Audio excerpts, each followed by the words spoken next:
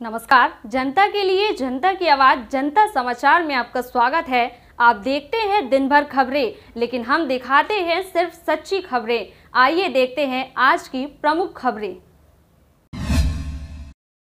सरकारी ज़मीन पर चल रही थी फ्लाईएज से ईट बनाने की फैक्ट्री। जबलपुर में तिलवारा थाना अंतर्गत सिवनी टोला में सरकारी ज़मीन पर फ्लाईएज से ईट बनाने की फैक्ट्री चल रही थी।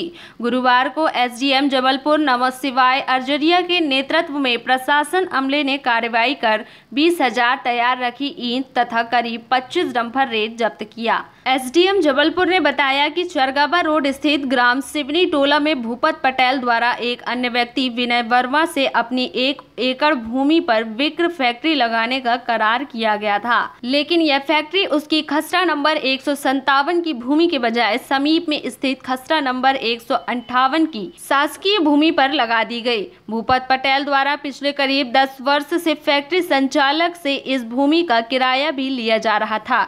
उन्होंने बताया कि विक्र फैक्ट्री पर की गई कार्रवाई के दौरान जब्त सामग्री को संचालक की सुपुर्दगी में दे दिया गया है। इसके अलावा आवागमन वाली सड़क पर भूपत पटेल, आशिफ पटेल आदि द्वारा अवैध कब्जा कर रखी गई करीब 25 डंपर रेत को जब्त कर खनिज विभाग की सुपुर्दगी में दे दिया गया है।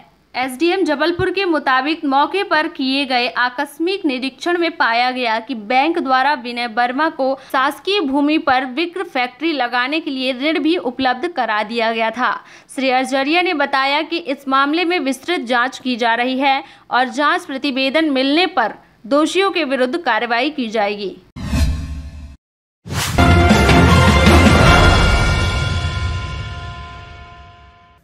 थी आज की प्रमुख खबरें। और प्रमुख खबरों को देखने के लिए हमारे चैनल से जुड़े रहिए और हमारे चैनल को सब्सक्राइब करिए और बेल आइकन के बटन को दबाना ना भूलें। आप देख रहे हैं जनता के लिए जनता की आवाज़, जनता समाचार। अन्य खबरों के लिए हमारा चैनल सब्सक्राइब करें।